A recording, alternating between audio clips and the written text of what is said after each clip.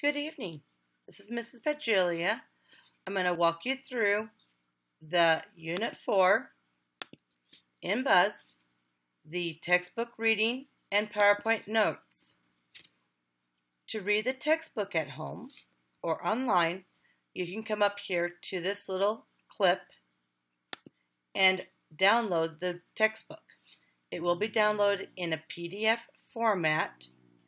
Therefore, you can read it even at home.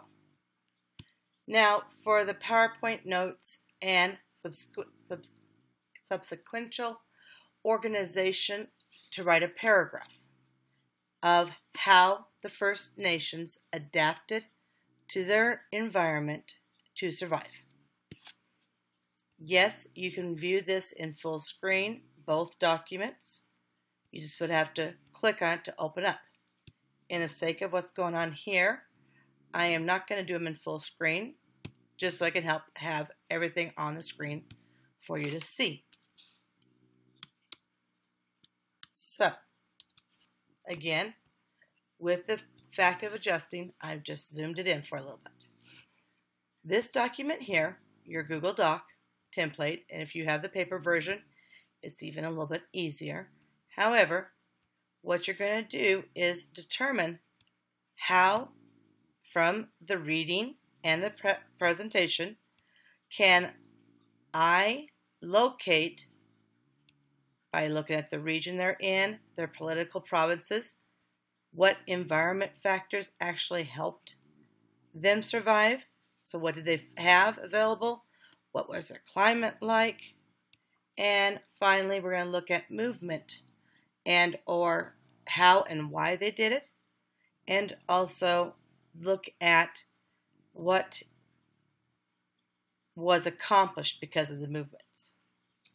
And again, at the bottom, we're looking again these three details on how did they adapt to their environment.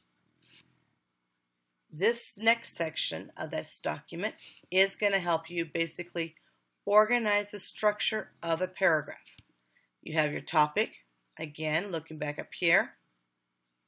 The color code is the same. You have your first big idea with its supporting details spots. Second big idea with its supporting details. And the third big idea with its supporting details. The blue indicators on here are transition words and or thoughts. A good transition thought would be, well, first, they adapted because, based on where they lived, as they lived in whatever region. And it continues on and on like that. The blue before the block of purple indicates that you're talking about you're transitioning to the next big idea. And then within it, you would have transition words or thoughts to help you blend the big idea with its supporting details. But for now, you're focusing on filling in this part of the T chart on taking notes. Here we go. In Canada, there were five First Nations, according to our textbook. We're going to look at the Arctic region, subarctic, plains, northwest coast, and eastern woodlands. First, the Arctic region. Okay, they are located in the far north. That's a regional description on where they're at. Politically, you could find these people in Nunavut and the Northwest Territories, at least. Another fact did it help with adapting? Yes and no. Another fact is they actually have a specific name called the Inuits, which is also known as Eskimos. Eskimos ends up turning into eaters of raw meat. Not know where to put it. Let's see. You have note taking, but you could also be putting it here in the environment because they had to eat raw meat most of the time. So, physical regions. They are located in the Arctic Islands and partially in the Canadian Shield. Therefore, its climate, here's my climate, The top two should have been up there. The climate, if you look in, if you look at your image, is larger. Of course, you're in the tundra climate or biome, which basically is cold winters and cold summers. They don't have too much of a warm summer situations. Um, what kind of foods did they have, such as did they farm, buff, hunt buffalo, or did they fish? Well, these people are located in this Arctic area. Therefore, majority of information available is a lot of ocean. So yes, they had seals, fish, otters, whales, and walruses. So that's part of the natural resources found in this environment. And continuing on. What inventions did they come up with? And how did that help their movement or type of travel? Well, they came up with their kayak, which is a one-man boat made of bones from the whales and seals and walruses, and seal skin to help keep it sealed. They invented dog sledding to get from place to place along the Arctic ice. And of course, you had the Umiaks, which is a 12 person boat seen down here. That was used for larger hunting parties. So, that information could be the type of boat movements they had here, three of them, and or what did they do to adapt to their environment? They did not have any other means of movement other than walking, and they so they found out and had dog sleds. Going on, here is a picture of the kayak. And to help them fish and or hunt, they were able to create needles out of the bones of the ant mammals or the fish. Sea life, you had jewelry that they would make, which is great the needles for sewing, the jewelry because they created sculptures. Okay, those are your artisans, and they are probably focusing on honing their skills to help make the needles better, and of course, um, build harpoons. Because the more skilled you were up here, the better the weapons would be. They also use blubber to help keep heat and light in their abodes along the wintertime. They're in the tundra climate, so trees is a very scarce resource. So to help keep their heat, they had to burn blubber for heat and light. Very little trees available as a resource. Another fact of movement is information of the spiritual sense, such as a shaman. Where would I put that in my section? If I'm not sure, I would put it right here in my notes. The shaman helped guide their tribe as well as was a tribal leader many times. So he would, or she would set, would adapt to their environment and lead, so movement, ideas, their people beyond. All right, so yes, this was a group that definitely worshiped nature. And of course, final adaptations is housing. Housing and clothing would be the final things to look at. In the summertime, in the wintertime, as they went out on their hunting parties, they made igloos, or as I call, prefer to call them, the pop-up tents of the Inuit people. No, these are not easily popped up and moved. However, this was the version of their portable housing.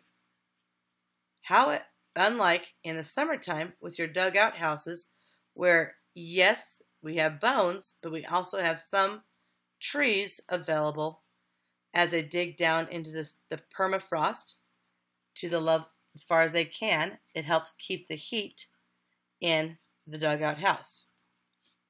And that concludes, by the way, I would have put those in right here, concludes the Arctic island. Oh, sorry, I forgot the resources. What were the most important resources available to these guys? Main one, you got your ice and ocean. Everything else was arranged around those concepts. Okay, whew, we got done with one group. Now again, that means that I would have been filling in some information in these vast spots. Yes, you might say, wait, I don't agree. I thought the shaman should be part of their um, location or maybe environment. If not, you put it where you think it should be. This will help you create the, the paragraph so when you take your test over this unit, you can write a strong paragraph because you've already done it once. All right, so next group up is a subarctic Native Canadian group. And how did they adapt? One, take a look at this image down here and how vast or large of an area that these guys are in. They're the pink group. Okay, so yes, central Canada, not far north, not far south. Um, yes, it's a horseshoe shape around the Hudson Bay. And yes, there's Quebec and Ontario. It's going to go a little bit faster because now that I laid out the idea of filling in your paper here, I'm hoping you're going to understand and be able to figure it out from now. Subarctic people, they lived, if you notice here from your climate map and your regions map, they kind of followed the climate zone and the regions that were already built in here.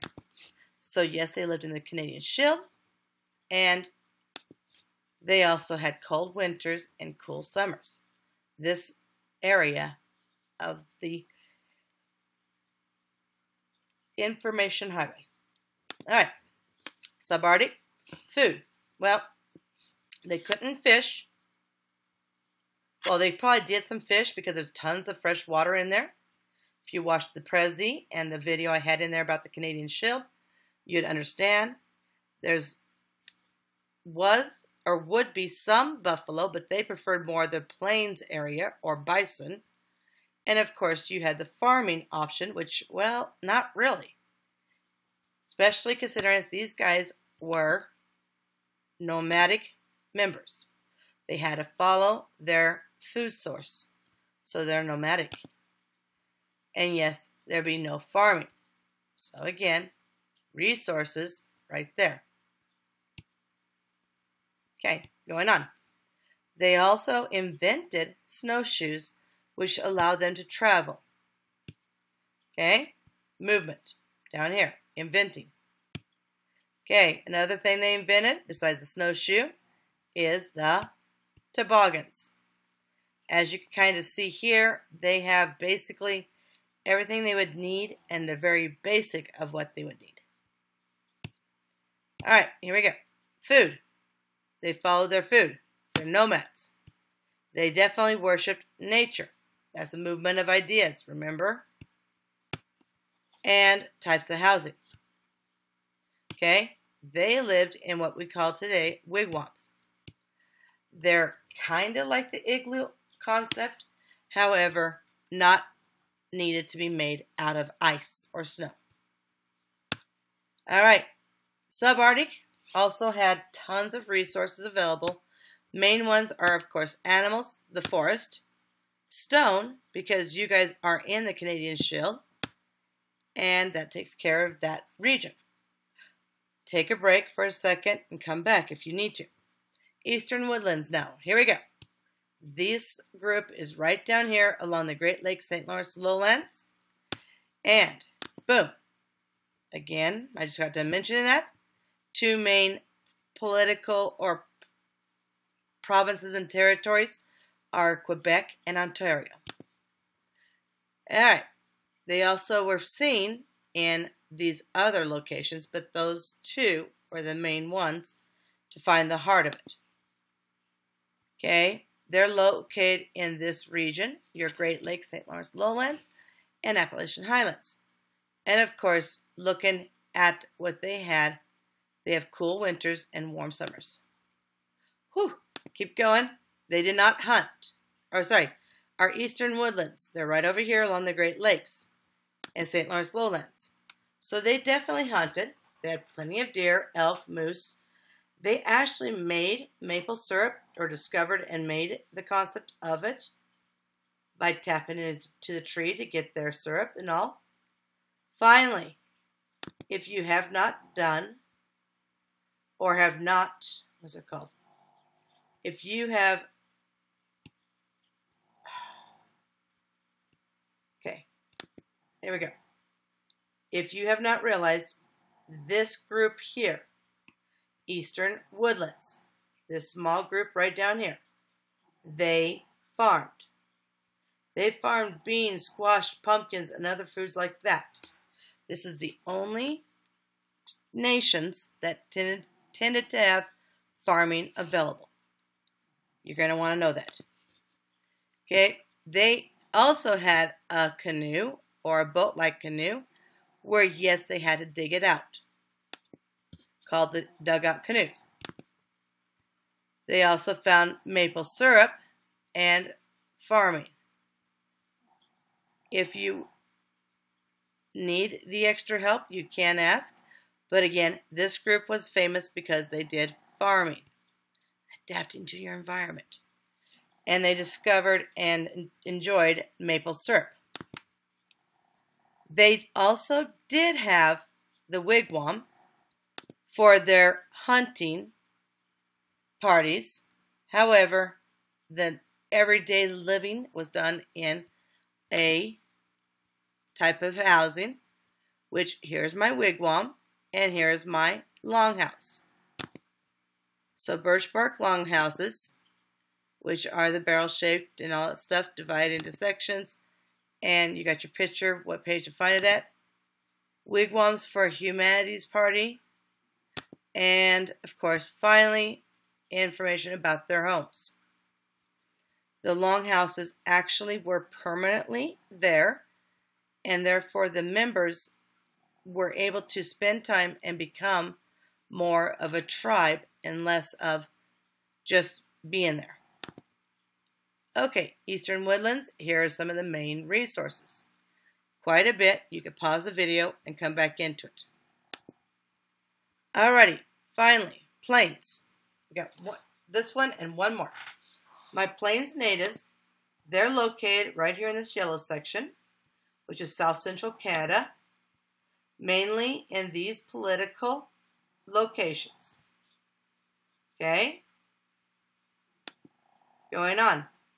Plains natives, uh, their physical feature, well, they're right down here.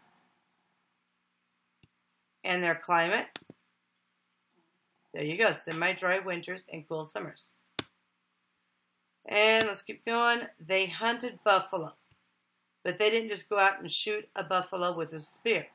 They actually used the method of stampeding them over a cliff. All right. I think there was an extra. Yep. Oh, sorry. Absolutely no farming. There was only one group that farmed, and that was my eastern woodlands. All right, plains. They invented, oh, we talked about their farming. Okay, yep, no farming. They pushed their buffalo or chased them over the ridge, made them stampede. Their inventions, um, they built teepees. The teepees were able to be used because their poles were longer. They had more animal skins, things like that. And, of course, they also had a little bit more time than, say, the subarctic or Arctic people because they're just trying to survive. Okay?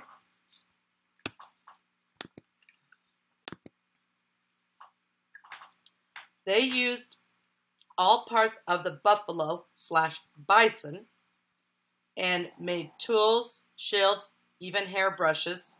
The tongue of the bison was known as really a good hairbrush. I know, kind of gross. And again, decide where to put it in over here. Oh, sorry, the tongues. Yeah, buffalo tongues were made from, for hairbrushes. The people were actually referred to, the people of the buffalo. The Plains natives are called the buffalo people. So again, here's an image of all parts of this buffalo that's being used. Nothing goes to waste. So because it all revolves around buffaloes. And types of housing, the teepee. Teepee was able to easily be packed up and moved. They did not carry it. They've, of course, drug it behind. And main resources, what they're named after, they lived mainly with the buffalo or bison, which is what they are in this area, even though they're referred to as people of the buffalo. Truly, the animal is a bison, which is right here. I'll give you a clue. You need to know that these are talking in far as our comments about the same animal. All right. Whew, I think we're at the last group. Let's double check it. Yes, we are on the last group. All right, Northwest Coast. Here we go. You guys are going to look right here. It's one of the small ones again, located on the west coast off of British Columbia.